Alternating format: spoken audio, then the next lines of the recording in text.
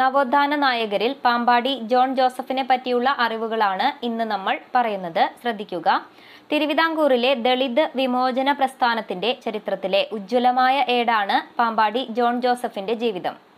അധ്യാപകനായും സൈനികനായും പ്രവർത്തിച്ച അനുഭവ കരുത്തുമായാണ് അദ്ദേഹം അധസ്ഥിത ജനതയുടെ ആത്മാഭിമാനം വീണ്ടെടുക്കാനുള്ള ശ്രമങ്ങൾ നടത്തിയത്. ആയിരത്തി എണ്ണൂറ്റി എൺപത്തിയേഴ് മെയ് ഇരുപത്തിമൂന്നിന് തിരുവല്ലയിലാണ് ജനനം. എവിടെയാണ് ജനനം? ആയിരത്തി എണ്ണൂറ്റി എൺപത്തിയേഴ് മെയ് ഇരുപത്തി മൂന്നിന് തിരുവല്ലയിലാണ് ജനനം. രണ്ട് തലമുറ മുൻപ് മതം മാറി ക്രിസ്തുമതം സ്വീകരിച്ച കുടുംബമായിരുന്നു അദ്ദേഹത്തിന്റെത്. ക്രിസ്ത്യൻ വിദ്യാലയങ്ങളിൽ പഠിച്ച് ഏഴാം ക്ലാസ് പാസ്സായി.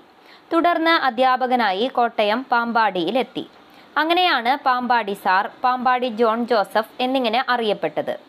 ഇംഗ്ലീഷ് മലയാളം ഭാഷകൾ നന്നായി കൈകാര്യം ചെയ്യാൻ കഴിവ് നേടിയിരുന്നു. ആയിരത്തി തൊള്ളായിരത്തി പതിനാലിൽ ഒന്നാം ലോകമഹായുദ്ധം പൊട്ടിപ്പുറപ്പെട്ടപ്പോൾ പട്ടാളത്തിൽ ചേർന്ന് ബ്രിട്ടീഷ് ഇന്ത്യയിലും പുറത്തും ജോലി ചെയ്തു. സൈനിക സേവനം അദ്ദേഹത്തിന്റെ ജീവിത വീക്ഷണത്തെ കൂടുതൽ വിശാലമാക്കി. പട്ടാള സേവനം മതിയാക്കി നാട്ടിൽ തിരിച്ചെത്തിയ ജോസഫ് വെണ്ണിക്കുളം നാരകത്താനം അഞ്ചാനിയിൽ സാറായെ വിവാഹം കഴിച്ചു. സവർണാധിപത്യത്തിന്റെ കെടുതികൾ മൂലം ഹിന്ദുമതം വിട്ട് ക്രിസ്തുമതം സ്വീകരിച്ച ആറു ലക്ഷത്തോളം അധസ്ഥിത ക്രൈസ്തവർ അക്കാലത്ത് തിരുവിതാംകൂറിൽ ഉണ്ടായിരുന്നു. അവരുടെ അവസ്ഥ അപ്പോഴും ശോചനീയമായി തുടർന്നു. സവർണ ക്രിസ്ത്യാനികളും അവർണ ക്രിസ്ത്യാനികളും തമ്മിൽ വലിയ അന്തരം നിലനിന്നിരുന്നു. ഒരുമിച്ചുള്ള പന്തിഭോജനമോ പരസ്പര വിവാഹങ്ങളോ നടന്നിരുന്നില്ല. അവർണ ക്രിസ്ത്യാനികൾക്കായി പ്രത്യേക ആരാധനാലയങ്ങൾ പോലും നിർമ്മിക്കപ്പെട്ടിരുന്നു. ഈ സാമൂഹികാവസ്ഥയാണ് ജോൺ ജോസഫിനെ സമുദായോ സമുദായോദ്ധാരണ പ്രവർത്തകനായി മാറ്റിയത്. താമസം തിരുവനന്തപുരത്തേക്ക് മാറ്റി. അവിടെ എത്തിയ അദ്ദേഹം അയ്യങ്കാളിയെ ചെന്ന് കണ്ടു.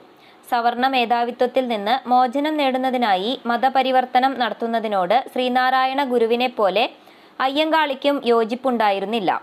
എങ്കിലും മതം മാറിയ അധസ്ഥിതരുടെ അവകാശങ്ങൾക്കായി പോരാടാൻ അയ്യങ്കാളിയും സാധുജന പരിപാലന സംഘവും സന്നദ്ധമായി. ഇക്കാലത്താണ് ജോൺ ജോസഫ് ജ്ഞാന ജേഷ് ജോഷുവായെ കണ്ടുമുട്ടിയത്. ജ്ഞാന ജോഷുവായെ കണ്ടുമുട്ടിയത്. മതപരിവർ മതപരിവർത്തനം ചെയ്ത നാഗർകോവിൽ സ്വദേശിയായ ജോഷുവെ തിരുവിതാംകൂറിലെ ചീഫ് അക്കൗണ്ട്സ് ഓഫീസർ പദവി വഹിക്കുകയായിരുന്നു. സ്വന്തം നിലയിൽ ജോഷുവെ കണ്ടെത്തിയ ചില വിവരങ്ങൾ ജോൺ ജോസഫിനെ ആശ്ചര്യം കൊള്ളിച്ചു. അവ ഇങ്ങനെ കേരളത്തിന്റെ പഴയ പേര് ചേരനാട് എന്നായിരുന്നു. ഇവിടുത്തെ പ്രഥമ ആദിമവാസികൾ ചേരമരും ചെറുമർ നാടുവാഴികളും ഭൂവുടമകളും കൃഷിക്കാരുമൊക്കെ ചേരമർ തന്നെ ആയിരുന്നു. എന്നാൽ പുറത്തുനിന്നുള്ളവർ ചേരമരെ തോൽപ്പിച്ച് അടിമകളാക്കി രാജ്യം കൈവശപ്പെടുത്തി. ചേരമരെ അടിച്ചമർത്തുന്നതിനും സ്വത്തുക്കളും ആരാധനാലയങ്ങളും കൈക്കലാക്കുന്നതിനുമായി അവർ നടപ്പിലാക്കിയ സൂത്രങ്ങളായിരുന്നു ജാതി വ്യവസ്ഥയും തീണ്ടലും ഐത്തവുമെല്ലാം അടിമകളാക്കി കീഴ്പ്പെടുത്തിയ ആദിമ ചേരമർക്ക് നൽകിയ പേരാണ് പുലയർ. ചേരമരുടെ ഭൂതകാല മഹത്വം വീണ്ടെടുക്കുക എന്ന ലക്ഷ്യത്തോടെ ആയിരത്തി തൊള്ളായിരത്തി ഇരുപത്തി ഒന്നിൽ ജോൺ ജോസഫ് തിരുവിതാംകൂർ ചേരമർ മഹാജനസഭയ്ക്ക് രൂപം നൽകി. ചേരമരുടെ ഭൂതകാല മഹത്വം വീണ്ടെടുക്കുക എന്ന ലക്ഷ്യത്തോടെ ഏതായിരുന്നു? ചേരമരുടെ ഭൂതകാല മഹത്വം വീണ്ടെടുക്കുക എന്ന ലക്ഷ്യത്തോടെ ആയിരത്തി തൊള്ളായിരത്തി ഇരുപത്തി ഒന്നിൽ ജോൺ ജോസഫ്. എന്നാണ് ആയിരത്തി തൊള്ളായിരത്തി ഇരുപത്തി ഒന്നിൽ ജോൺ ജോസഫ് തിരുവിതാംകൂർ ചേരമർ മഹാജനസഭയ്ക്ക് രൂപം നൽകി. ആയിരത്തി തൊള്ളായിരത്തി ഇരുപത്തി ഒന്നിലാണ് ജോൺ ജോസഫ് തിരുവിതാംകൂർ ചേരമർ മഹാജനസഭയ്ക്ക് രൂപം നൽകിയത്. പ്രഥമ ജനറൽ സെക്രട്ടറിയായി അദ്ദേഹം ചുമതലയേറ്റു. പുലയ എന്നതിനു പകരം ചേരമർ എന്ന് പേരു മാറ്റിത്തരണമെന്ന് ആവശ്യപ്പെട്ട് ആയിരത്തി തൊള്ളായിരത്തി ഇരുപത്തിരണ്ടിൽ മഹാജനസഭ ശ്രീമൂലം പ്രജാസഭയിൽ നിവേദനം സമർപ്പിച്ചു. എന്നാൽ പേരുമാറ്റ നിർദ്ദേശത്തെയും ജോഷ്വ ജോഷ്വായിൽ നിന്ന് ജോൺ ജോസഫിന് ലഭിച്ച ചരിത്ര ഗവേഷണത്തെയും പലരും പരിഹാസത്തോടെയാണ് വീക്ഷിച്ചത്. അദ്ദേഹവുമായി ഉറ്റ സൗഹൃദം പുലർത്തിയിരുന്ന പൊയ്കയിൽ യോഹന്നാൻ കുമാര ഗുരുദേവൻ ഇപ്രകാരം ഒരു പരിഹാസ രചന തന്നെ നടത്തി. പുലയരെല്ലാം കൂടി ചേരമരായാൽ എന്ന എന്നാ ദൈവമേ പുലയന്റെ പുല തീരുമോ ഈ കേരളത്തിൽ? ഇതിനൊരു മാറ്റം വരുമോ? പറയരെല്ലാം കൂടി സാമ്പവരായാര സാംഭവരായാൽ എന്നാ ദൈവമേ പറയന്റെ പഴി തീരുമോ ഈ കേരളത്തിൽ? ഇതിനൊരു ശുഭം വരുമോ? പരിഹാസങ്ങളൊന്നും ജോൺ ജോസഫിനെ തളർത്തിയില്ല. വേരുകൾ തേടിയുള്ള യാത്ര തുടർന്നു. ചേരവംശത്തിലെ അവസാനത്തെ നാടുവാഴിയെ കണ്ടെത്താനായി ശ്രമം. തിരുച്ചിൽ എറണാകുളം ജില്ലയിലെ കോലഞ്ചേരിക്കടുത്ത ഐക്ക ഐക്കരനാട് എന്ന സ്ഥലത്തെത്തിച്ചു. ഐക്കര കുടുംബത്തിലെ കാരണവരെ തിരുവിതാംകൂർ മഹാരാജാവ് ഐക്കരക്കുറുപ്പ് എന്ന ബഹുമ ബഹുമതി നൽകി ആദരിച്ചിട്ടുണ്ടെന്നും അദ്ദേഹം കണ്ടെത്തി. അന്വേഷണത്തിനൊടുവിൽ കൊച്ചിയിലെ അധസ്ഥിത നേതാവായ കൃഷ്ണാദി ആശാനാണ് നിലവിലുള്ള ഐക്കര കാരണവരെന്നും തിരിച്ചറിഞ്ഞു. കൃഷ്ണാദി ആശാനാകട്ടെ അപ്പോഴേക്കും ക്രിസ്തുമതം സ്വീകരിച്ച യോഹന്നാൻ എന്ന പേര് സ്വീകരിച്ചിരുന്നു. ഐക്കര യജമാനനെ തിരുവിതാംകൂറിന്റെ തലസ്ഥാനമായ തിരുവനന്തപുരത്തേക്ക് ഗംഭീരമായി സ്വീകരിച്ച് ആദരിക്കാൻ തീരുമാനിച്ചു. തന്റെ വംശത്തിനും സംഘടനയ്ക്കും ഇത് ഉത്തേജനം പകരുമെന്ന് അദ്ദേഹം വിശ്വസിച്ചു. ആയിരത്തി തൊള്ളായിരത്തി ഇരുപത്തി മൂന്ന് മാർച്ച് ഒൻപതിന് സ്വീകരണ സമ്മേളനം നടന്നു. മഹാകവി ഉള്ളൂർ എസ് പരമേശ്വരയ്യരായിരുന്നു അധ്യക്ഷൻ. പ്രസംഗത്തിനൊടുവിൽ ഐക്കര യജമാനനെ തങ്ങളുടെ പുതിയ നാടുവാഴിയായി ജോൺ ജോസഫ് പ്രഖ്യാപിച്ചു. എന്നാൽ മഹാരാജാവ് നാടുവാഴുമ്പോൾ മറ്റൊരു നാടുവാഴിയെ വാഴി വാഴിച്ചതറിഞ്ഞ് ശ്രീമൂലം തിരുനാൾ കോപിഷ്ടനായതായും പറയപ്പെടുന്നു.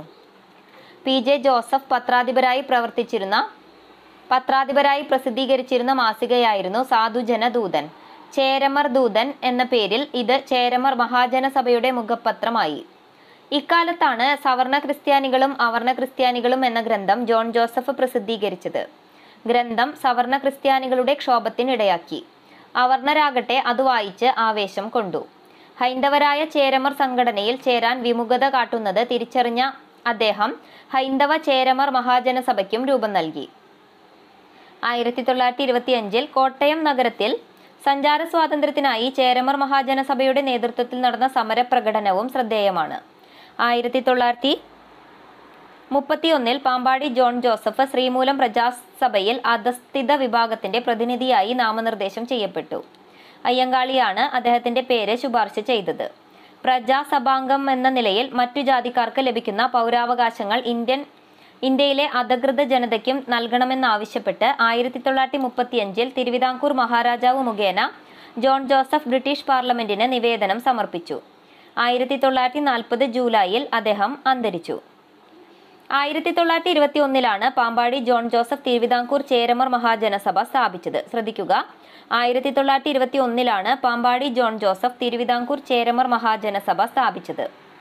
തിരുവനന്തപുരത്ത് വെച്ച് ഐക്കര നാടുവാഴിക്ക് സ്വീകരണം നൽകിയത് ആയിരത്തി തൊള്ളായിരത്തി ഇരുപത്തി മൂന്ന് മാർച്ച് ഒൻപതിനാണ്.